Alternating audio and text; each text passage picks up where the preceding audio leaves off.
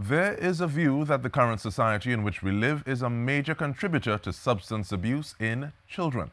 Coordinator of the National Alcohol and Drug Abuse Prevention Program, Lyra Thompson Hollingsworth, says her organization has observed that this is part of our local culture. Introducing a substance like alcohol or any other kind of drug can impact upon brain development and can impact upon how we carry out our activities up until that age.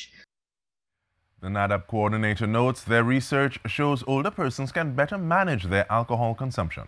Just between that 18 to 25 is a very sensitive time where we have to say, wait, okay, hold on. Yes, it's the legal age, but this is exactly how it's done. And you don't necessarily have to drink till you're in a drunken stupor in order to have fun. Mrs. Thompson Hollingsworth was speaking during an interview on TTT's Now Morning show on Tuesday.